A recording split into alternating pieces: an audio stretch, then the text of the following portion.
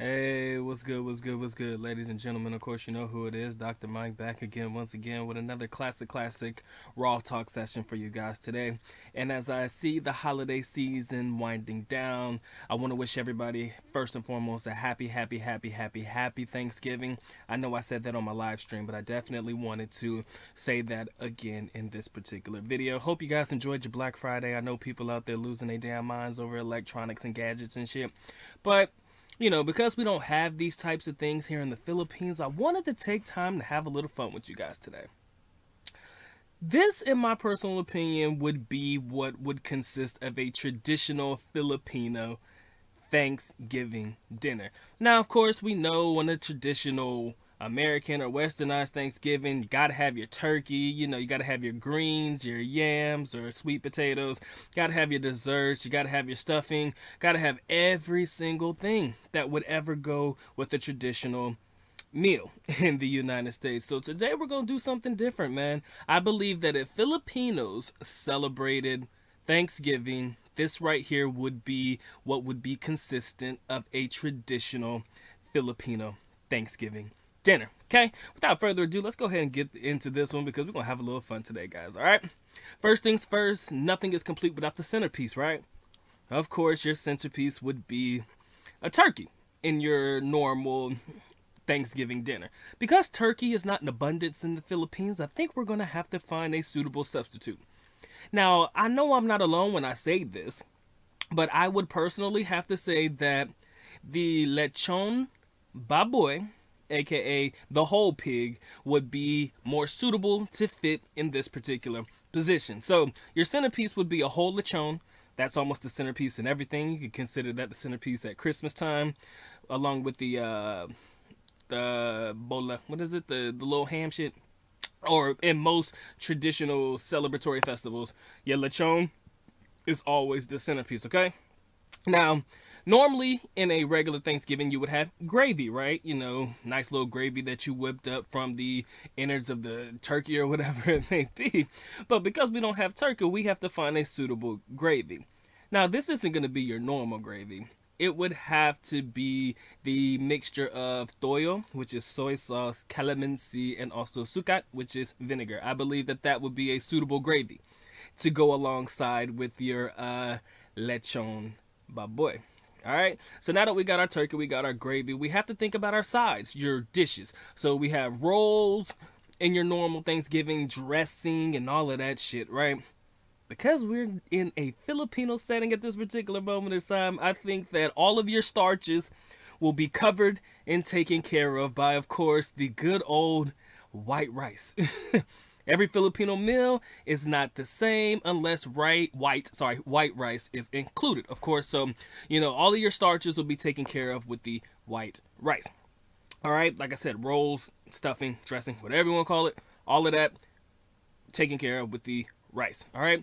Then of course you can have your nice little pancit canton that will take the substitute of like your green beans. then you have of course my favorite of all time, which is the uh, give me a second, guys. I'm gonna get it.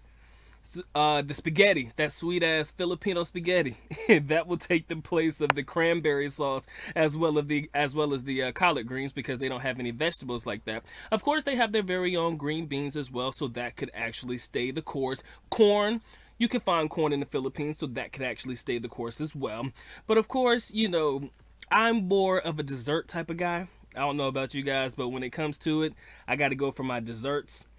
So, what kind of desserts would be suitable for your normal Thanksgiving? Uh, sweet potato or pumpkin pie, apple pie, pecan pie, uh, all of these pies per se, cakes too. But in the Philippines, I kind of feel like you're uh, Brazo de Mercedes, the little roll that you'll get at Red Ribbon, your chocolate rolls and shit, those will be your more suitable sides in the uh, Filipino traditional Thanksgiving. Also, you can have halo halo as your dessert. You just got to make sure that the uh, ice doesn't melt. Of course, you can have binignit. That's normally good for more colder weather or colder climate situations and shit. But binignit is always a good custom dessert that I highly enjoy. All right. And then we have our vegetables. What kind of vegetables could we have with our uh, traditional Filipino Thanksgiving? Of course, in the American Thanksgiving, like I mentioned before, the green beans and the corn, stuff like that could also stay the same. They got squash. That's actually a good sub, uh, not even a substitute, something to also add to the uh, traditional Filipino menu as well. And then, of course, your sides, cranberry sauce. I'm not too sure what could actually take the place of cranberry sauce, but I really do want your guys' opinion on what you think would constitute as a very, very, very good traditional Filipino Thanksgiving should Filipinos choose to one day in their life to celebrate uh, Thanksgiving in the Philippines, okay? Now, uh, I enjoy Thanksgiving and I'm very thankful for every single thing that I have in my life. And I hope that everybody is having a truly blessed Thanksgiving. I know this is a belated video, but again, I am not one to sit there and act as if I will not give you the Thanksgiving love that you so rightfully deserve. I don't care if it's late, don't care if it's on time, because like God say, you know, you never, it's never too late, man. He's always on time. So, with that being said, I hope you guys did have a great Thanksgiving. I hope you're stuffed. I'm pretty sure you guys are going to be eating on that damn Thanksgiving turkey for at least the next week, possibly week and a half. You know, if, you, if you're anything like my family is in the United States, they cook a nice sized turkey.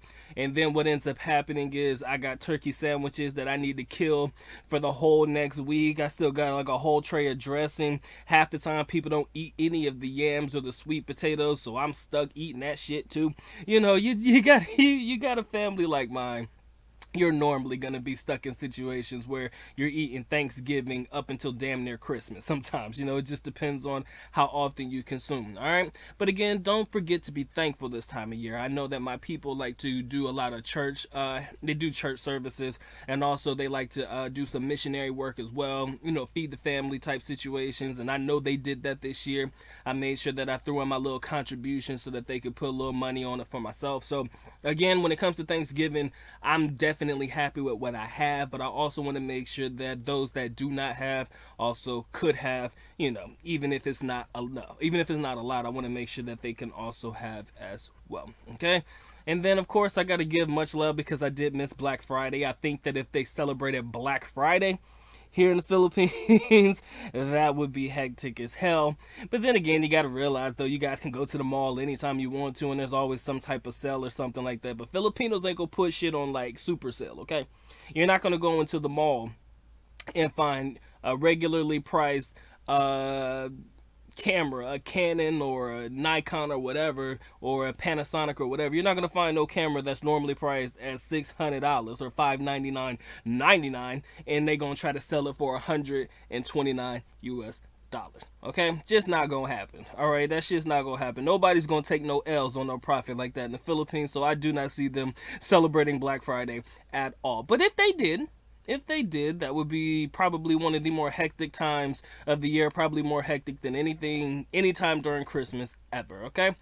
And with that being said, ladies and gentlemen, I just wanted to come through and talk a little shit. Maybe your Thanksgiving, traditional Filipino style Thanksgiving, would be celebrated differently, but I kind of wanted to come together and give you guys a couple of thoughts, little food for thought, because that was just what was on my mind today.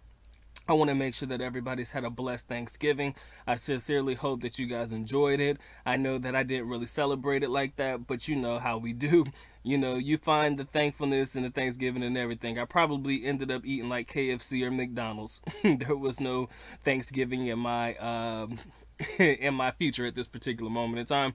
Uh, they also do have like Thanksgiving meals at certain restaurants here in the Philippines, so you, it's not impossible. They got Boston Market in some parts of the Philippines, so you know you could get you a nice little setup in that particular instance, and it'll probably serve you well. And I think that I have talked just about enough.